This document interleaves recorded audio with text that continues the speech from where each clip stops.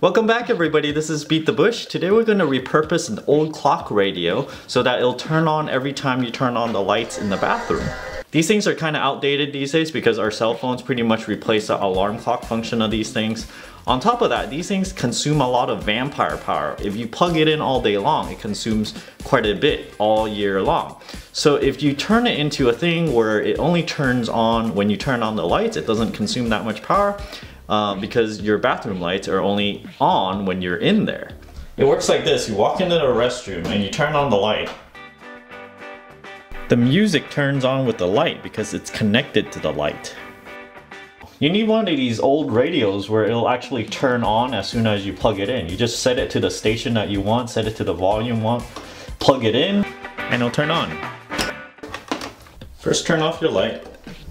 You might want to scope it out first before you turn off the light to really do it. But you take the flashlight and come up here while the power is turned off. Now I'm showing this as an example. You want to turn off the lights and perhaps even turn off the circuit breakers to make sure you don't get electrocuted.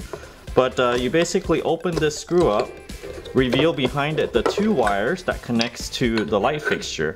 These are AC wires, so it doesn't matter which one you connect to.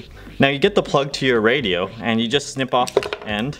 You expose the wiring here and then you just unscrew each one to attach each one to all the wires. It doesn't matter which side is which here if you have two wires.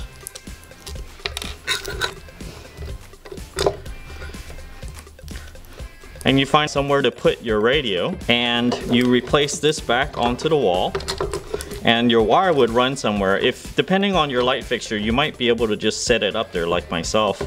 And then next time when you turn on the light, your radio will turn on. Nice thing about this is that when you're in the bathroom, brushing your teeth, going to the bathroom, taking a shower or whatever, you have something to listen to and you never have to update your MP3 files or something on a portable player. It's always just the radio. Sometimes when I have guests over, people get a little surprised that there's music playing in the bathroom when they don't expect it. Sometimes they might even think it's like in their head or something.